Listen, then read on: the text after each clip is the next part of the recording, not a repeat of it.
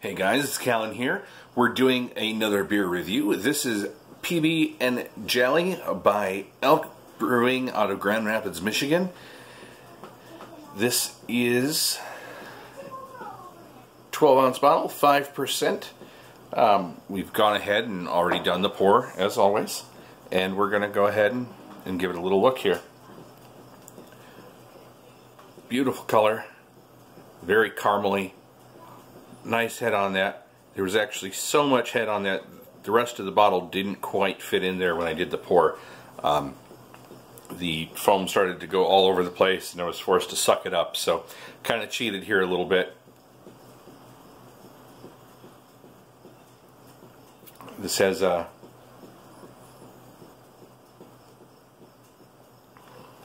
a very wonderful smooth flavor, light peanut butters on the back. It's definitely, definitely a peanut butter. Um, but there's a little bit of extra sweetness on the back there. It's supposed to come from Concord grape. Um, I mean, it's definitely there. It's not quite peanut butter and jelly sandwich, but it is darn good. Um, the, the, smells are wonderful. I mean, you can definitely smell some of the peanut influence, some sweetness there. Um, it's overall just a very smooth beer, very easy to drink.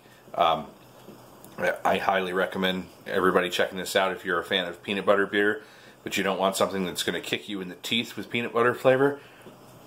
It's definitely worth a look.